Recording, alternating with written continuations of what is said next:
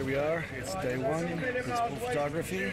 Uh, we're in Italy. Environmental. This place is gorgeous. It's unlike anything we had in the first movie, and it's just a ton of texture. Um, everybody's pretty excited. There's something about being out in the field and being in the middle of Italy. You're in this town that we've got the whole place shut down. You have five intersections, cars overturned, you have real explosions. It's a great way to sort of kickstart a shoot, you know, on location. That makes you feel authentic. Aaron and I are coming in cold, basically, and so it's nice to have our own substantial work with our characters before coming onto set with all those intimidating people. Coming back after being away and seeing each other was a very sweet reunion. We all, as actors, went on this journey together through this wild thing that became Avengers 1. It's all common ground now, and it's not quite as daunting as the first time round. I was talking to Robert and Chris and a lot of the guys before we started shooting, and all of us were looking forward to coming back and, and kicking it off again. I never want to work with these kids, but I'll get them there. In this one, we're together a lot, which is great for us, terrible for Joss, because it's tough to wrangle 10 crazy actors that love each other. Oh my God. We're about to get yelled at. Them having that kind of comfortable ease with each other is a delight. Every now and then, it's an exhausting delight. Today we have some balls and chops. Is that enough balls and chops? That just happened. Here we are in Robert's trailer. Um, it's uh, he didn't get the one he asked for, but we feel we did pretty well. This is Avengers Tower. Um, this is what Stark Tower became after it was destroyed. It's just sleek, elegant, futuristic. I mean, it's Tony's house, so it had to be, it had to be flashy. I don't know of anyone in the history of any superhero franchise who seems to have never run out of money. Joss wanted it all to be connected. He wanted to be able to move from downstairs to upstairs and vice versa. And needed to perform for Tony's world, for Banner's world, and then float down into sort of the gaming area of the HQ, which was a little bit more fun. If you look carefully at the details, you'll see there's a cap poster, there's stuff for Hawkeye, there's stuff that up in the lab where Tony's working for all of the team.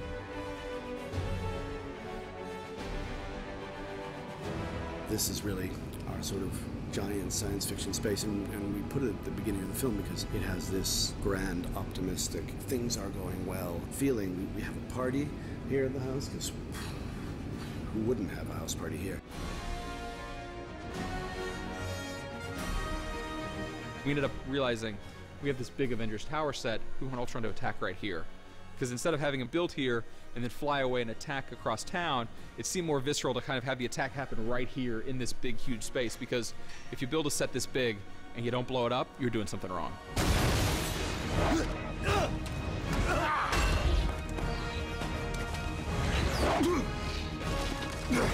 Joss was beginning to put together the character of Ultron, how he came about, what he wanted to do with the character. And he said to us, I think it's got to be James Spader. And with another moment, we went, yes. There's nobody else on the list. There's nobody else that we talked to. First day when he gives his speech at the party, I know all of us were kind of eager to be the audience and just to spectate and just watch him perform. And it was really exciting because it was really good and really intimidating. And I was tangled in strings. Spader knew what he was in for, and he went for it regardless, because he thought, if I'm going to do it, let me really do it. It was terrible to put us on a set together. I just want everyone to know that now. Showed up at, at the studio, and they put me in a suit, and they had me go through a range of motion, very specific motions and movements and so on, which they captured with all these sort of sensors all over me and reference cameras all around me. And within 10 minutes, the sort of rough image of Ultron was on a screen, a monitor in front of me. I've outgrown you, Tony. I've evolved. Performance capture is the entire performance, so you're filming an actor's entire role. It just happens to be a different bunch of cameras. But the actual nuances, all, the, all of the acting choices, you're authoring the role in exactly the same way that you would if you were playing a live action. He and I got to do some stuff, you know, and it's ridiculous. We're wearing these very unflattering suits and um, I'm trying to explain to him you know how it all works but I was like I'm working with James Spader look at you Ruffalo you really like pulled one over on the world I think it's so fitting because Ultron is everywhere and everything and has these almost Shakespearean soliloquies at times. And I certainly think that his theatrical background is all over this. You know, this church is in the exact center of the city. He had this thing with red dots for eyes, and so we would rehearse looking at him so we could have something to respond to. And then during a take, we'd have to like look three feet above his head, which was so irritating because he was doing so much that you wanted to watch. Probably majority of the shots, Aaron and I are both going like this, like just like shoot. We didn't want Ultron just floating out there by himself. We wanted him teamed up with someone. We wanted there to be an opportunity to have the twins help carry some of that villain burden. These characters are integral to the Avengers comic books. We also wanted to have another powerful female character. I wanted not just a new perspective, but a new visual language. She can get inside their heads. He can move so that everything is super slow. That's going to give me a language I wouldn't have used in the first one. When it comes down to Pietro, we went through a very large number of testing and looks so that we can feel that it was organic. We didn't want it to be about the effects per se, so we looked at you know various blurs and trails. We ended up with something which I think is pretty simple and but also pretty sophisticated and sort of elegant as a solution for Pietro. There's this blue streak trail. When I run fast, you'll see that, you know, if the light catches it, it'll have that kind of sort of a lightning bolt sort of strike.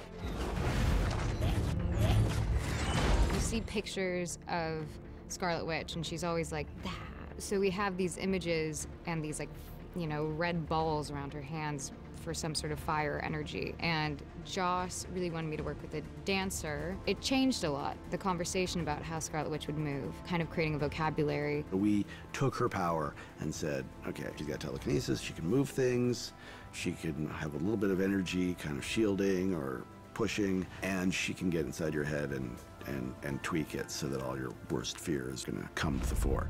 It was also fun for us to have a sequence with Scarlet Witch who could take down the Avengers without throwing one punch. I wanted to get deeper into these characters. You need visual momentum, and these dream sequences are designed very specifically to be as engaging as an action sequence. We all get our opportunities to delve deeper into the backstory of each one of these characters, and every one of the Avengers comes to the table with a lot of baggage. It took a long time to understand when Scarlet Witch gets inside of Banner's head, forces him into the Hulk. Then what is the Hulk's nightmare? What makes him go crazy?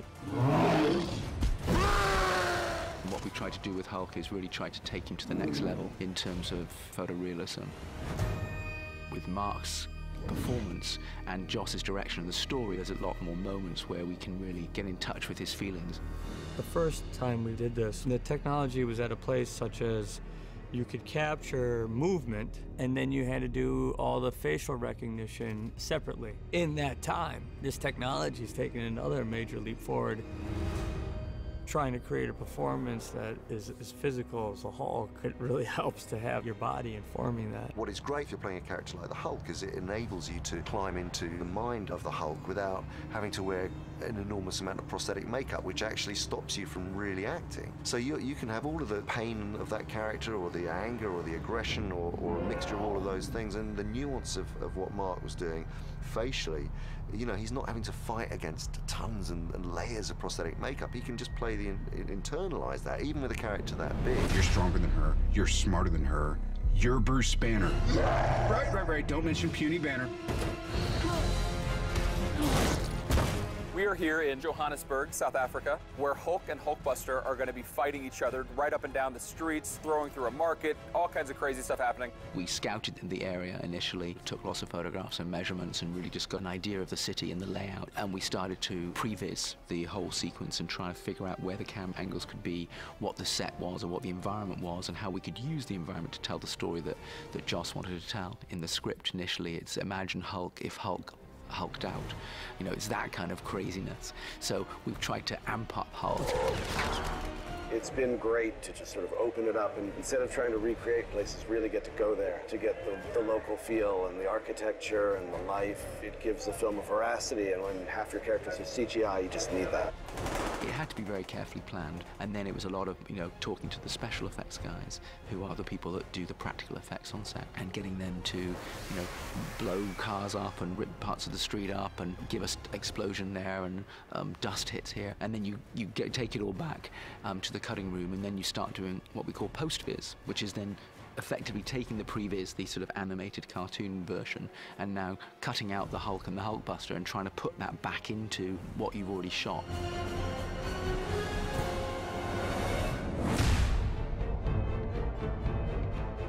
Right after they've had their visions, when all of them are realizing how disconnected they are from their own feelings and past and thoughts and how messed up they are, they're confronted with a normal family life. It puts a weight on, oh, this is why we do what we do. Everyone has to sort of take a look at themselves of like, oh yeah, what we're doing is really not quite so important. This is what it's really all about. Seeing everybody on set in costume and standing there with everybody, it's pretty fun to watch. It's pretty fun to see all those superheroes come to life. This is like a family of people that you know kind of get together and have these powers that act real normal in terms of how they react to each other, how they sit around, eat, drink, talk to each other, or have brotherly fights and this, that, and the other. Isn't that why we fight? So we can end the fight, so we can go home?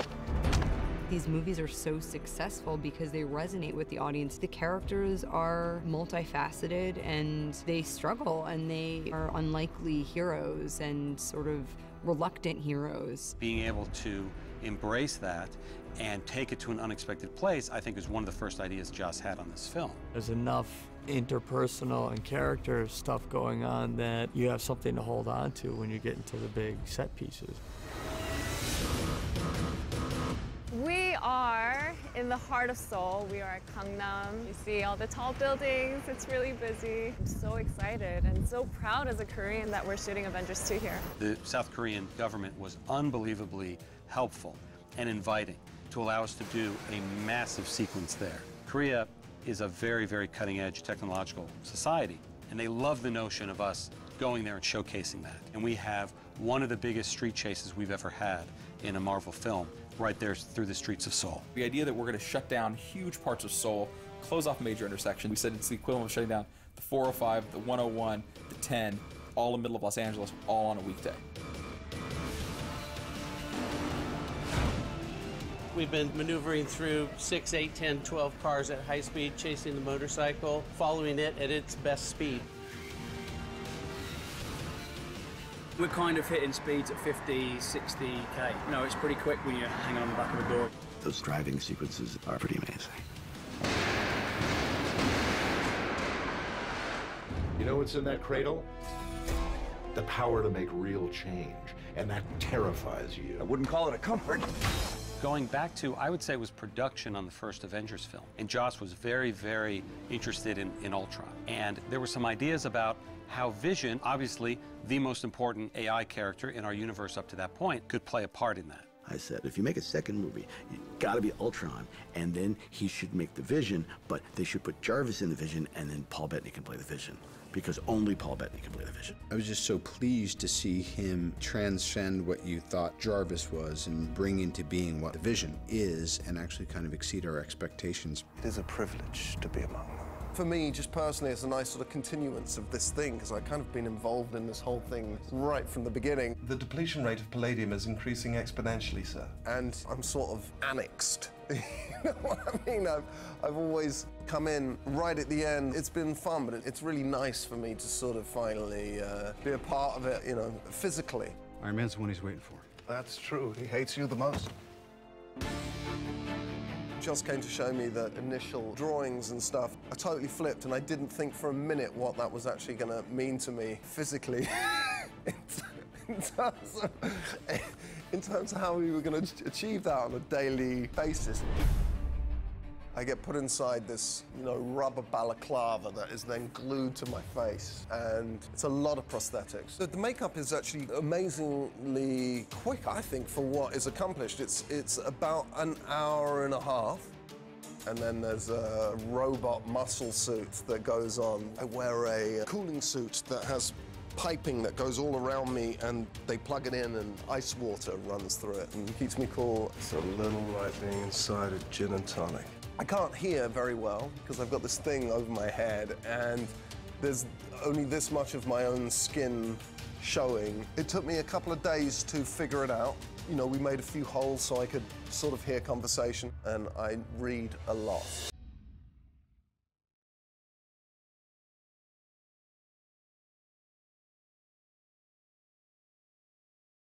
We're in Sokovia, which is now in Hendon, in London. Sokovia previously was in Italy. Uh, Sokovia's been in uh, on stage. Sokovia's kind of all over the place. This big place that we're kind of putting together in visual effects. And and today here in Sokovia, we're doing kind of the end of the movie. Everything's kind of wrapping up. And we just had this massive strafing run. You know, Ultron has commandeered the Quinjet, and he came through, bam, bam, bam, bam, bam, and is taking out everybody. We had 1,300 explosions going off, one after the other, all timed, all rigged by our great special effects team. We were very lucky. We looked very hard for that location, and because we knew what we had to do to it in the Sensi post-destruction look, that made our search that much harder because a lot of places simply wouldn't have allowed us to have done it with all the pyrotechnics and all the special effects and our footprint, you know, what we needed to do there. Very quickly we realized it, it actually worked incredibly well.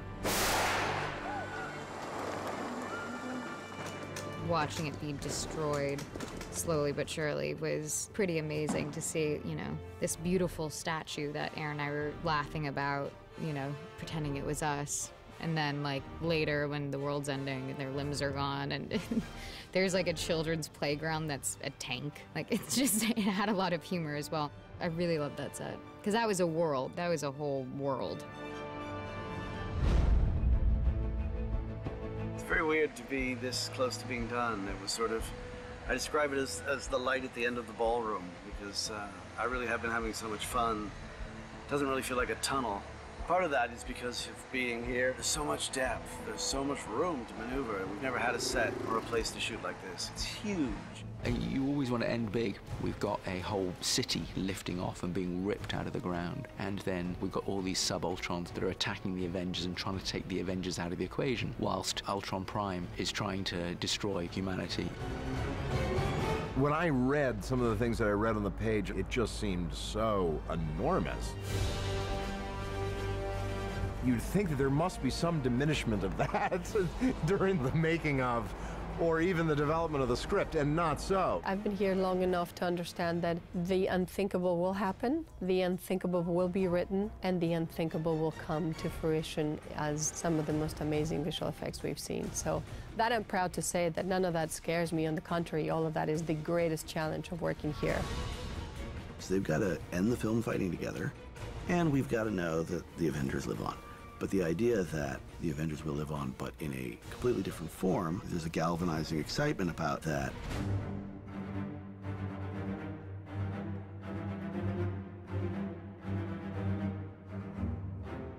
My favorite part about Avengers Age of Ultron is what's brought into potential at the end. The fun of the comics is the shifting roster, is the notion that the Avengers begin as a certain roster of people, but over time, some characters go off into their own adventures, new characters come in. So for us, that was always part and parcel of the concept of the Avengers. So it was always the idea that we were going to mix up the teammates. I feel like this is really a kind of a feeling of, a, of an ending of an era and the beginning of another, and I welcome it. I think it makes the audience even that more invested in our interpersonal relationships and the future of these characters, so that's pretty cool. To be able to create this spectacle and have it be something that you can crawl inside and feel the life within it, that's, I think that's this film in its finest form.